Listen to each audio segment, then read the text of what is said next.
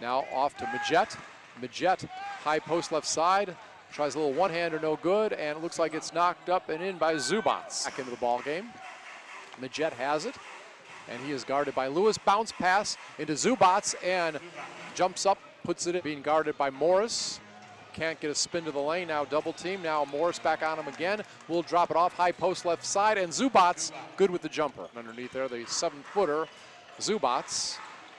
Here comes Blue. Blue tries to throw up a wild shot. No good, but it's rebounded and put in by Zubac. Zubac matched up with Josh Smith.